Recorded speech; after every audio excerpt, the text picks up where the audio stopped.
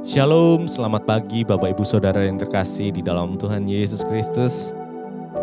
Pagi hari ini saya percaya kita semua akan menyiapkan hati, pikiran, tubuh, dan jiwa kita untuk kita boleh masuk di dalam hadirat Tuhan, untuk kita boleh menikmati hadiratnya yang indah. Saya ajak kita semua berdoa bersama-sama. Tuhan Yesus terima kasih buat pagi hari ini, Terima kasih buat anugerah Tuhan, rahmat Tuhan yang selalu baru setiap pagi. Terima kasih Tuhan buat nafas hidup yang Tuhan masih berikan untuk setiap kami, sehingga kami masih boleh menikmati kasihnya Tuhan.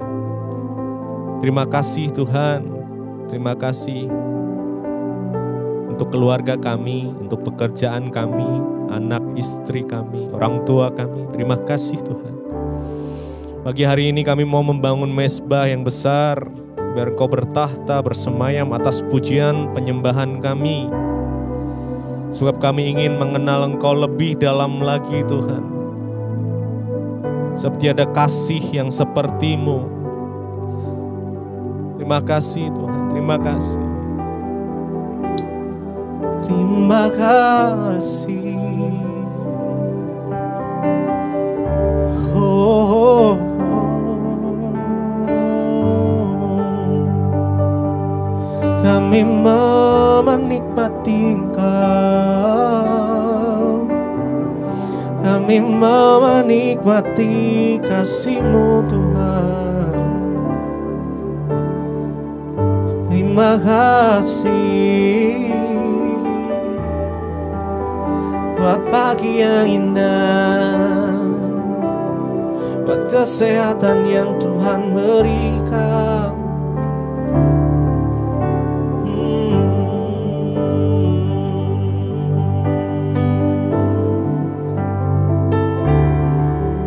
Dan ku ingin mengenalmu lebih dalam dari semua yang ku kenal. Tiada kasih yang melebihimu. Ku ada untuk menjadi penyembahmu. Dan ku ingin mengenalmu Tuhan lebih dalam dari semua yang ku kenal. Tiada kasih yang melebihimu. Ku ada untuk menjadi penyembahmu Dan ku ingin mengenalmu Tuhan. Lebih dalam dari semua yang ku kenal. Tiada kasih yang melebihimu ada untuk menjadi penyembahmu. Oh, Dan ku ingin mengenalmu Tuhan. Lebih dalam dari semua yang ku kenal. Tiada kasih yang melebihimu Ku ada untuk menjadi penyembahmu.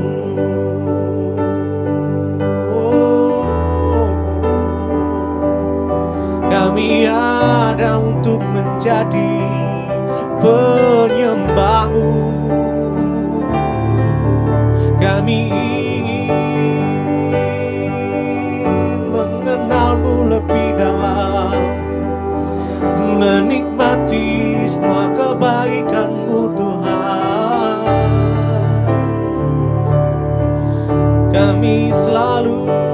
bersyukur dalam segala hal. Sebab itu yang Tuhan kehendaki atas setiap kami.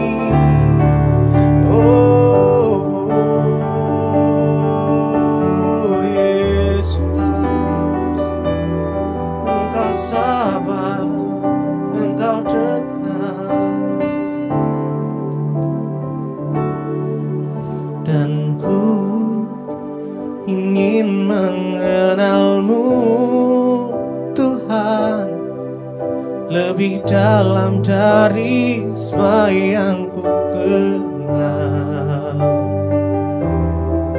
Tiada kasih yang melebihimu. Ku ada untuk menjadi penyembahmu. Dan ku ingin mengenalmu dalam dari semua yang ku kenal. Tiada kasih yang melebihimu Ku ada untuk menjadi penyembahmu.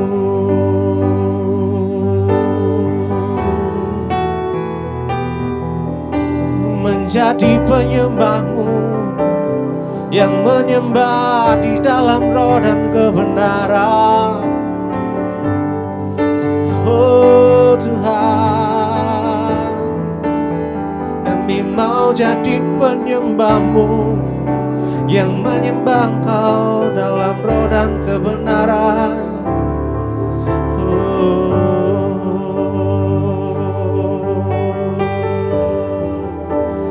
Terima kasih yakin Kau hadir di sini Ku yakin kau hadir di sini. Ku rasakan kuasa yang tak terbatas.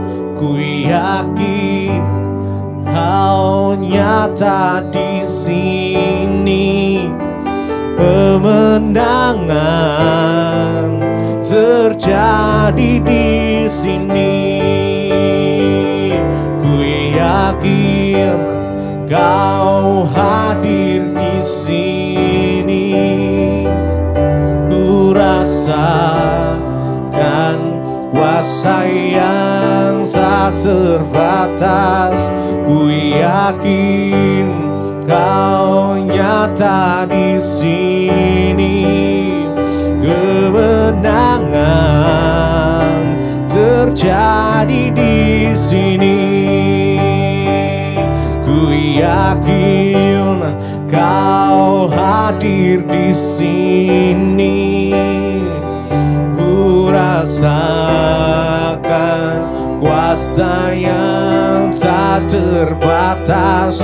Ku yakin kau nyata di sini. Kemenangan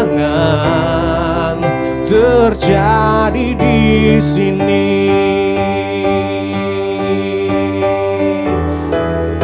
Oh, ku yakin kau hadir di sini.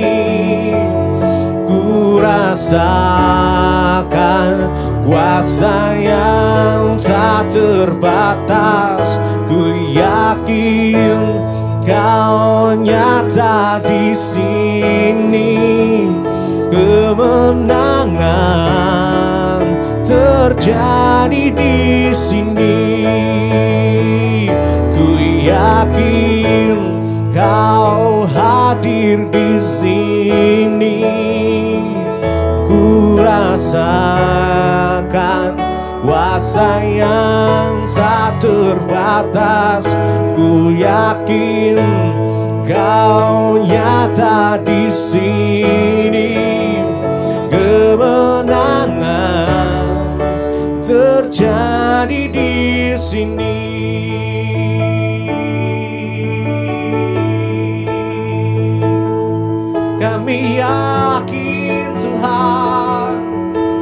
Percaya kemenangan terjadi di sini saat kami menyembahmu. Engkau turun tangan menolong kami. Engkau membuka jalan-jalan yang tertutup Kau mengadakan musisat oh,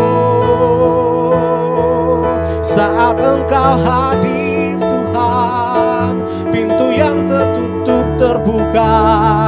Yang sakit boleh disembuhkan Dalam nama Yesus. Terima kasih Tuhan yang putus asa dan tak berpengharapan. Kau berikan pengharapan yang baru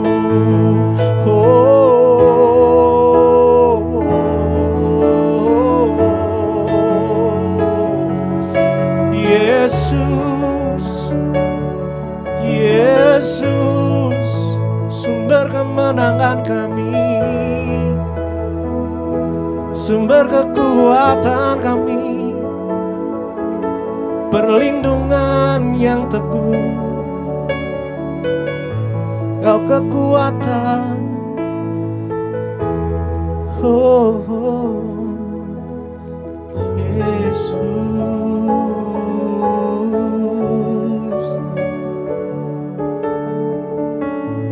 kasih Bapa, kami mengucap syukur buat pagi hari ini. Tuhan yang membangunkan kami dengan tubuh yang sehat, tidak kurang suatu apa pun, sehingga kami boleh mencari wajahmu pagi ini, bahkan mendengarkan kebenaran firman-Mu. Tuhan sebelum kami memulai aktivitas kami, Engkau urapi kami, bahkan berbicara bagi kami. Sampaikan isi hatimu Tuhan, urapi hambamu yang tidak ada apa-apanya. Dalam nama Tuhan Yesus kami buka hati kami. Haleluya. Amin. Amin. Iya, shalom saudara, selamat pagi. Saya percaya kita semua dengan tubuh yang sehat, tidak kurang suatu apa pun, dibangunkan oleh Tuhan. Dan pagi ini kita akan sama-sama mempelajari firman Tuhan ya dan kita percaya bahwa firman Tuhanlah yang sanggup memberikan kita pengajaran, tuntunan, bahkan nasihat agar hidup kita semakin berkenan di mata Tuhan. Hari ini firman Tuhan terambil dari Amsal pasal yang ke-30, ayat yang ke-7 mulai. Amsal 30 ayat 7, ayat 8, ya ayat sampai ayat yang ke-9 saudara ya. Firman Tuhan berkata demikian, dua hal aku mohon kepadamu, Jangan itu kau tolak sebelum aku mati. Yakni ayat 8. Jauhkanlah daripadaku kecurangan dan kebohongan. Jangan berikan kepadaku kemiskinan atau kekayaan. Biarkanlah aku menikmati makanan yang menjadi bagianku. Ayat 9. Supaya kalau aku kenyang, aku tidak menyangkalmu dan berkata, "Siapa Tuhan itu?" Atau kalau aku miskin, aku mencuri dan mencemarkan nama Allahku. Saudara, ini adalah se sepotong doa yang luar biasa dari Agur bin Yake ya.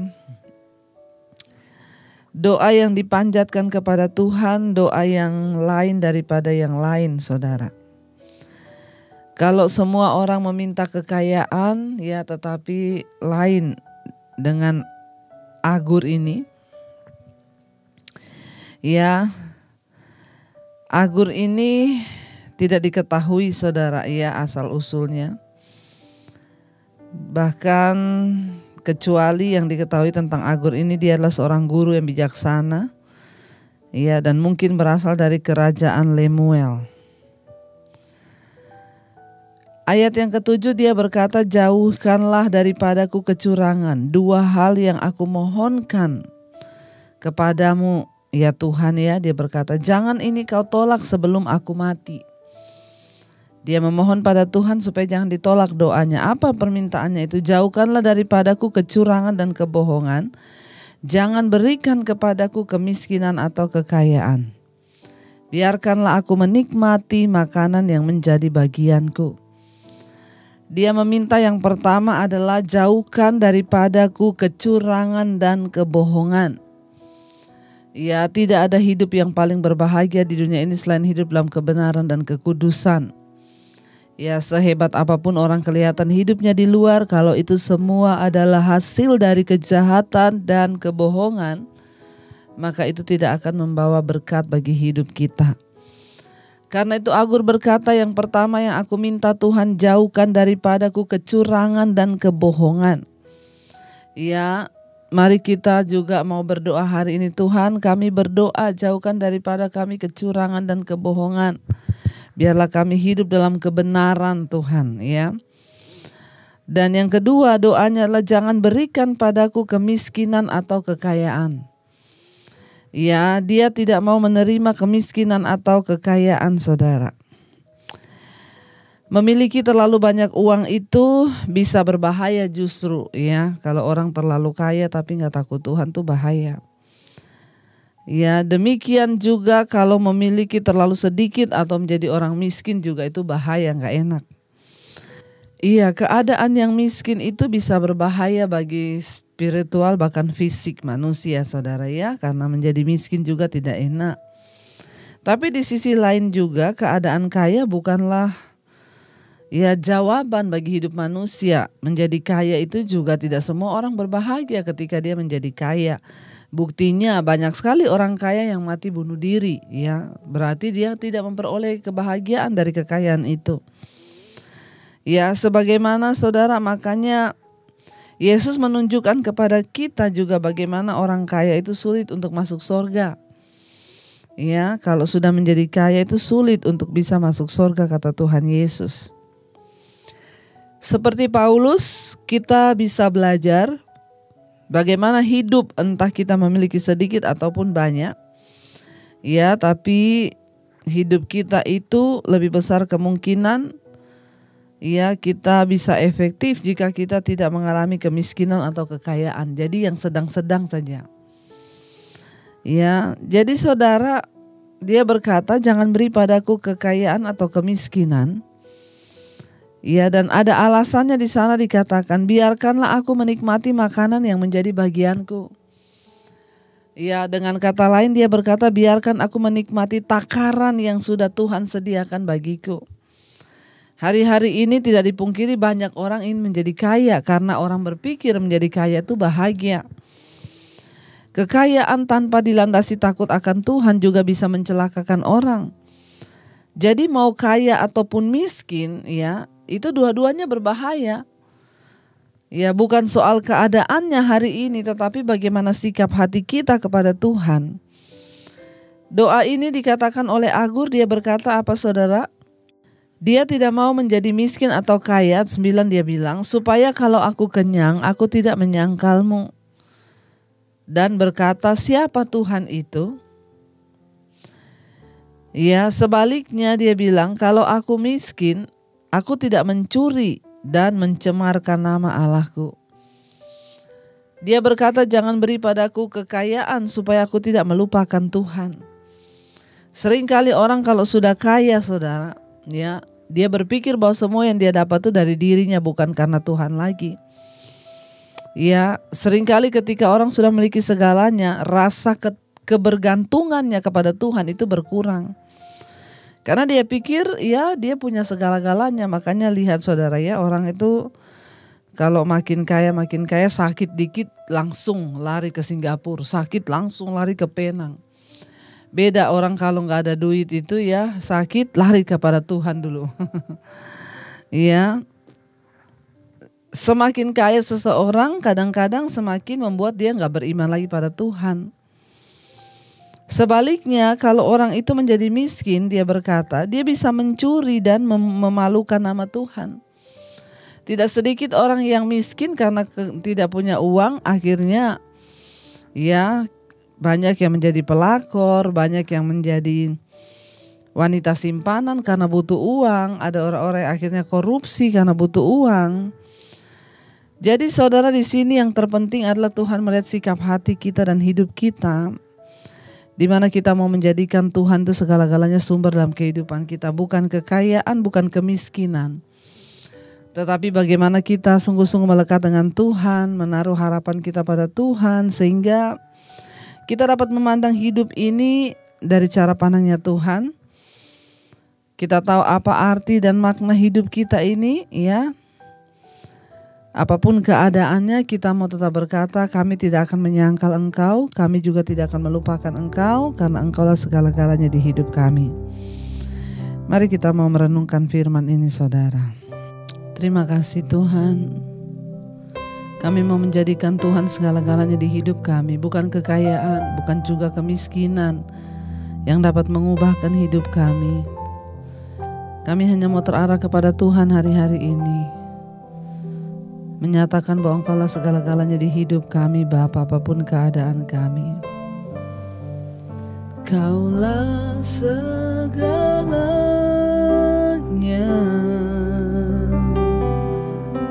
di dalam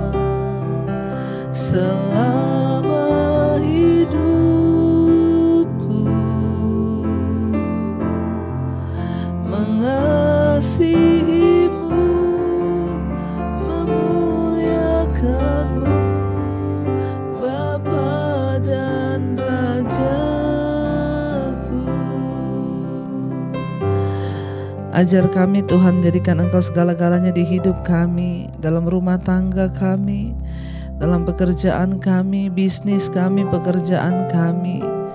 Kami menjadikan Tuhan segala-galanya di hidup kami. Berkati setiap keluarga kami Bapa Bahkan berkati setiap mereka yang bekerja pada hari ini. Sebelum kami memulai segala aktivitas Kami mau mencari Tuhan.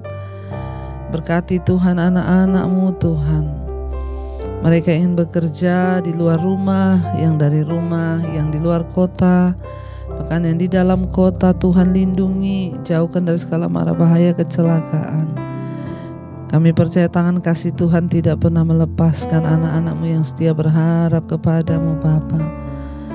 Berkati Tuhan para suami-suami istri, biarlah kami boleh hidup rukun bersama dalam kehidupan kami. Tuhan juga tetap memberkati bangsa dan negara kami Indonesia, Bapak Presiden Jokowi dan wakilnya dan seluruh jajaran kabinet. Bahkan kami percaya Bapa, tanganmu yang menopang bangsa ini Tuhan dengan kasih kuat kuasa darahmu Tuhan. Terima kasih buat pagi ini kami bangun dengan tubuh yang sehat. Dan kami juga mau menyerahkan seluruh hidup kami dalam tangan Tuhan. Mari kita berdoa Bapa kami. Bapa kami yang ada di sorga, dikuduskanlah namamu, datanglah kerajaanmu, jadilah kehendakmu di bumi seperti di sorga. Berikanlah kami pada hari ini makanan kami yang secukupnya, dan ampuni kami akan kesalahan kami seperti kami juga mengampuni orang bersalah pada kami. Jangan membawa kami dalam pencobaan, tapi lepaskan kami daripada yang jahat. Karena engkau yang punya kerajaan dan kuasa kemuliaan sampai selama-lamanya. Mari buka hati dan tanganmu untuk menerima berkat. Diberkati engkau dalam kehidupanmu, diberkati rumah tanggamu, diberkati pekerjaanmu.